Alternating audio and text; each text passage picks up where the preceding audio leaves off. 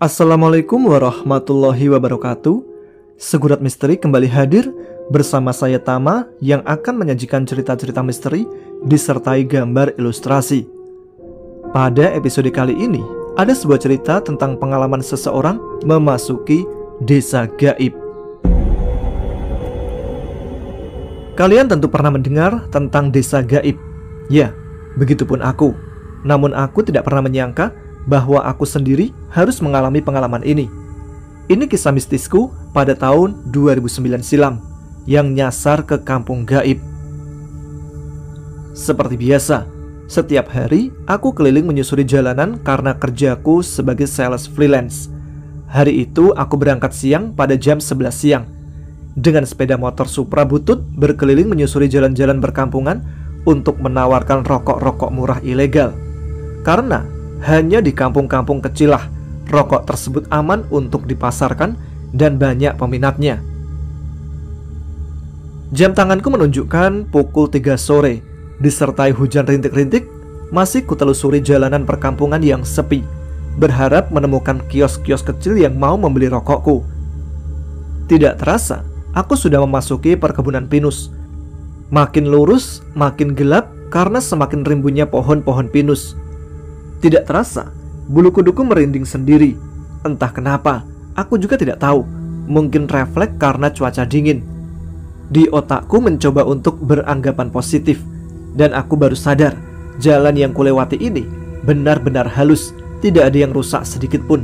Padahal jalanan di perkampungan tadi rusak parah, tapi jalan ini di tengah hutan malah halus seperti sirkuit Mandalika.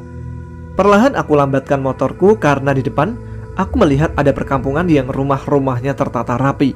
Bangunannya pun terbilang bagus dan elok. Ku berhenti di sebuah rumah yang halamannya lumayan luas, tanpa pagar bumi. Di samping rumah tersebut, ada garasi yang dipakai untuk jualan sembako.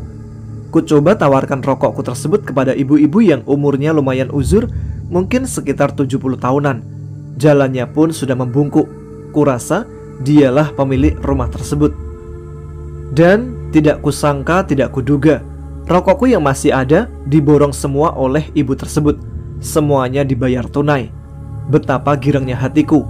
Tidak lupa kuucapkan terima kasih kepada ibu tersebut. Dia juga menawarkan untuk ngopi dulu di ruang tamu yang bersebelahan dengan garasi tersebut. Baru selangkah untuk masuk ke ruang tamu itu, refleks bulu kuduku merinding sendiri. Melihat ruang tamunya Cahayanya redup yang nampak jelas hanya kursi dan meja tamu yang besar yang terbuat dari kayu jati.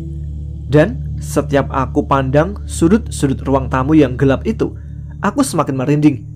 Aku merasa ada orang berdiri di pojokan sedang menatapku dengan pakaian lusuh dan rambut panjang. Tapi aku berusaha untuk tetap berpikiran positif. Mungkin itu hanya halusinasiku. Karena mungkin perutku keroncongan habis hujan-hujanan. Ada aroma bunga melati juga di ruang tamu tersebut. Singkat cerita, akhirnya aku menolak secara sopan tawaran ibu tersebut, dan ibu itu mempersilahkan aku pergi. Tidak begitu jelas dengan muka ibu tersebut karena dari awal dia terus menunduk karena punggungnya sudah membungkuk. Bergegas aku menyalakan mesin motorku. Aku lanjut berkeliling di kampung tersebut Aku kagum dengan rumah-rumah di kampung itu yang bangunannya bagus-bagus dan tertata rapi. Di kampung tersebut tidak ada satupun rumah yang ada pagar buminya. Semua halaman rumah terbuka bebas dengan warna hijau rumput Jepang di setiap halaman rumah. Tapi yang membuat saya heran, selama muter-muter di kampung tersebut, tidak ketemu orang di jalan ataupun yang sedang duduk-duduk di teras rumahnya. Kampung itu begitu sepi, tapi aku tetap berpikiran positif Mungkin karena gerimis, orang-orang pada malas keluar. Masih tetap melajukan dengan pelan motorku ditemani gerimis rintik-rintik sambil menengok ke kanan dan ke kiri. Barangkali ada warung makan, tapi tidak kutemukan juga. Di kanan kiri yang ada rumah-rumah bagus yang tertata rapi.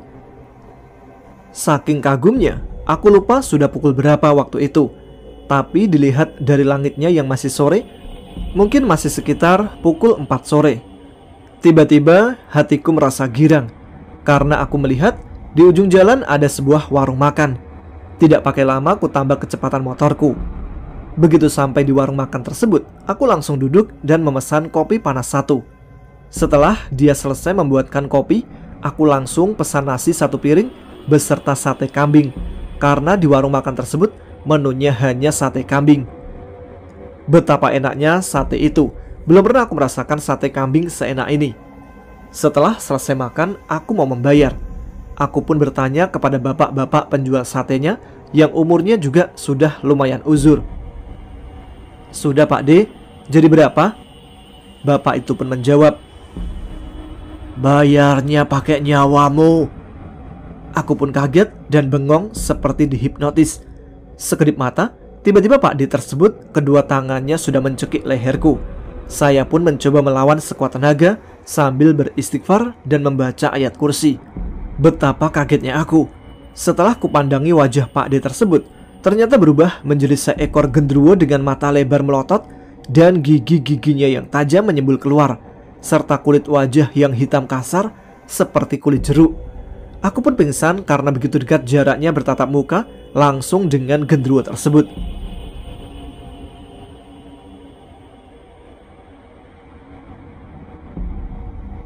Dan setelah aku sadar, ternyata aku sudah di puskesmas. Kata orang tuaku, aku sudah menghilang selama empat hari dan ditemukan oleh orang pencari rumput terjatuh di jurang yang alhamdulillahnya jurang itu dangkal dan tersangkut di bawah pohon serut. Alhamdulillah saya masih diberi panjang umur. Tidak henti-hentinya saya bersyukur kepada Allah. Kejadian tersebut saya alami di daerah Pekalongan yang masih banyak hutan serta perkebunan pinus. Demikian episode Segurat Misteri kali ini. Terima kasih kepada teman-teman yang selalu menyimak setiap episode Segurat Misteri. Kita jumpa lagi pada episode yang akan datang. Wassalamualaikum warahmatullahi wabarakatuh.